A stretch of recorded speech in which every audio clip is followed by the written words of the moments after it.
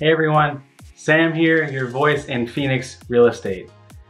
Today I want to talk about a few outdoor projects that you can do to really upgrade your home and make it feel like a completely new home. First is landscaping. This can be backyard, front yard, or both. If you're thinking about freshening up your house, try going out to the backyard, adding some turf, maybe adding some pavers, doing things like that to really freshen up the look.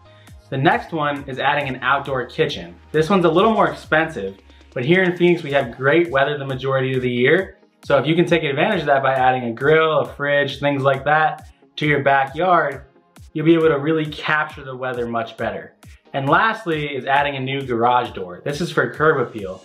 Adding a new garage door completely changes the feel of the house. If you have any questions about buying or selling a home here in Phoenix, please feel free to reach out to me. I'd love to help. Thank you.